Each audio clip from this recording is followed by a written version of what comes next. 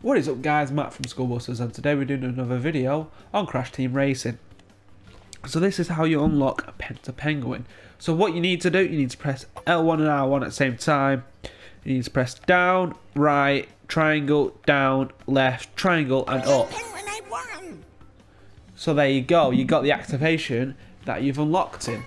So this will not have any trophies whatsoever. So if you go to your local arcade, you can go to single race, choose uh, anything whatsoever. Characters. Uh, where is the? There you go. Advance Penta Penguin. And that's him. So that's the customizations you can unlock for him. So you need to do the one race, 10 races, 25 races, and uh, unlockable in the pit stop. So that's it for this video. Stay tuned for more and I'll see you all soon and adios.